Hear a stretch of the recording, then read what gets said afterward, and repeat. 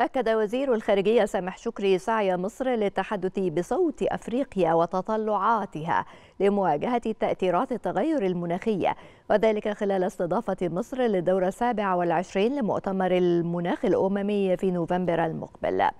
جاء هذا خلال مشاركة وزير الخارجية في اجتماع لجنة رؤساء الدول والحكومات الأفارقة المعنية بتغير المناخ. والمنعقدة بالعاصمة الإثيوبية أديس أبابا على هامش فعاليات الدور الخامسة والثلاثين لقمة الاتحاد الأفريقي.